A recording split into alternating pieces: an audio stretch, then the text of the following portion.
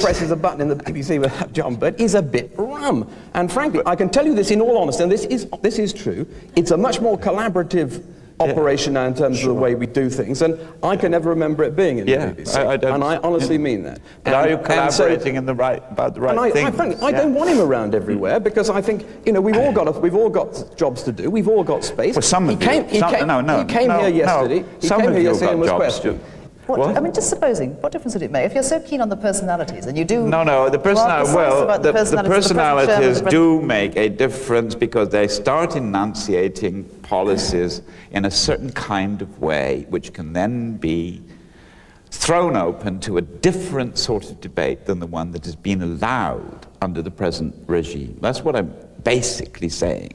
But also, the BBC cannot assume that it is the sole, that it and public service broadcasting are the same thing. And if the BBC continues on its present path, that is why I suggested that there should be other public service broadcasting organizations set up to amend the damage that the BBC is doing to itself by prematurely taking on the wrong political language, commercial language in self defense, confused self defense, which is getting ossified and solidified into management dogma.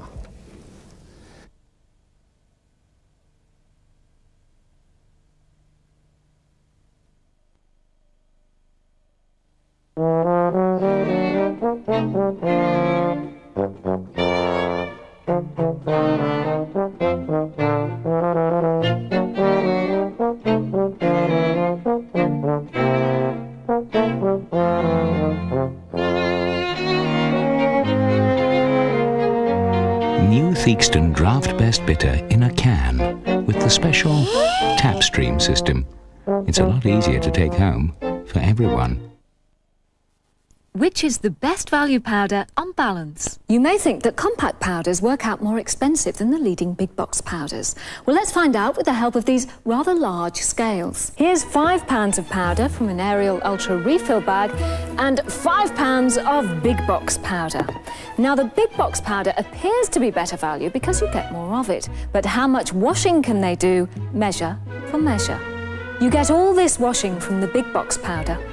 But Ariel Ultra gives you even more clean clothes for your fiver. which is better for your bank balance. Ariel refill bags, on balance, better value than the leading big box powder.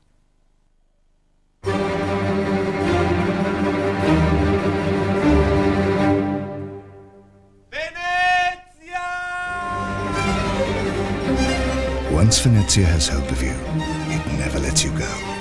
Laura Biagiotti, Venezia Parfum, a seduction of the senses. Can you tell Ultra Lenor's softness by touch alone? Dean hopes so, because if he can't pick the Lenor softened towel from all the unconditioned ones, the girls are going to make him eat worms. So the pressure's on. I hope for Dean's sake that Lenor's as good as they say it is.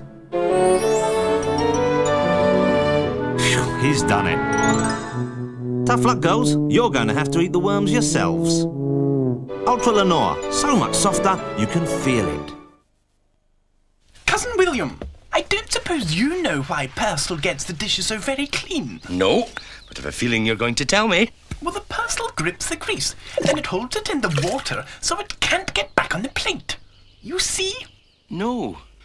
Run me through that again. See? No. No. Well done, Billy. Persil washing up liquid. Grips grease for good.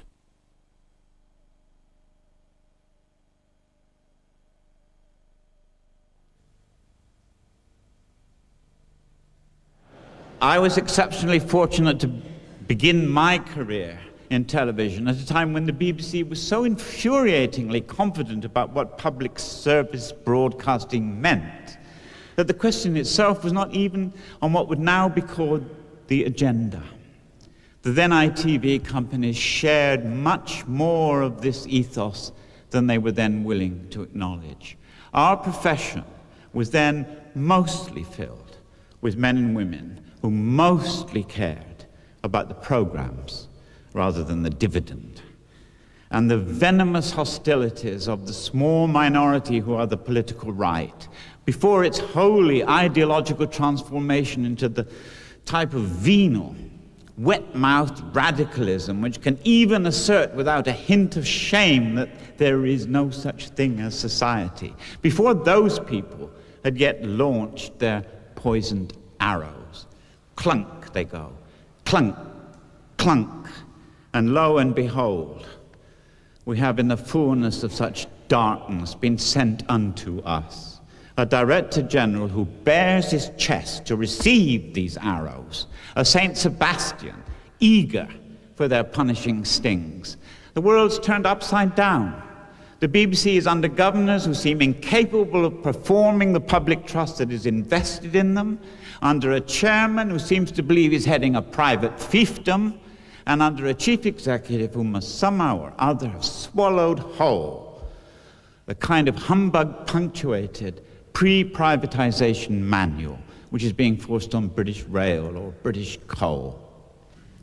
Our television has been ripped apart and faltering, falteringly reassembled by politicians who believe that value is a monetary term only and that a cost accountant is thereby the most suitable adjudicator of what we can and cannot see on our screens.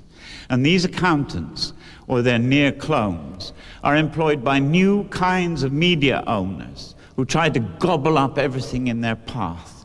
We must protect ourselves and our democracy, first by properly exercising the cross ownership provisions currently in place, and then by erecting further checks and balances against dangerous concentrations of the media power which plays such a large part in our lives. No individual, group, or company should be allowed to own more than one daily, one evening, and one weekly newspaper. No newspaper should be allowed to own a television station and vice versa. A simple act of public hygiene. Tempering abuse, widening choice, and maybe even returning broadcasting to its makers.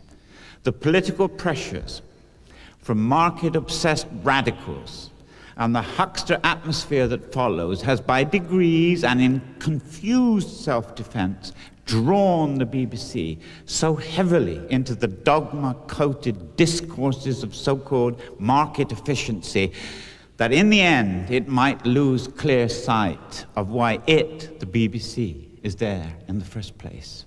I fear the time is near when we must save not the BBC from itself but public service broadcasting from the BBC. The old Titan should spawn smaller and more nimble offspring if its present controllers cannot be removed. Why not think about it anyway? Why not separate radio from television? Why not let BBC Two be a separate public service broadcaster? Let's begin to consider afresh how the thousands of millions of pounds of license money could be apportioned between two, three, or four successors to the currently misled corporation. I think Dennis fires a, a fair warning shot across our bows. Where I would absolutely agree with him is public service broadcasting is important and it's incumbent upon those who are responsible, wherever they are, in whatever part of British broadcasting, to make sure that they do cherish it, they pass it on in at least as healthy and I hope healthier state afterwards. Where I'd absolutely disagree is that breaking up the BBC is going to do that. If you want to weaken the BBC, break it up. Break it up, pick it off, and I'm surprised that you raised that because in another part of your lecture, which we haven't talked about at all today, of course, was the other half of it was, or a lot, another, another part of it was a, a, stringent, a, a, very strong attack on media barons, some in particular. And if you break up the BBC, frankly, I think what you'll be doing is creating fish for them to fry. So don't do that. Uh, if you want to protect the independence of an organisation, I, th- I, think it's very important that you know size is enormously helpful in that in terms of confidence. But I think the warning shot you, you, you fire about the importance of it is a fair one, and I think we, we need to be judged by that, and perhaps you should come and give the lecture again in two or three years' time. What's the point? Uh, and uh, um, we, we should yeah. all judge us upon it. Do you think John Birt should have come on Friday? That's not a supplementary. Well, Dennis, I can remember also the Golden Age. I am very fascinated by your reminiscences about the part the BBC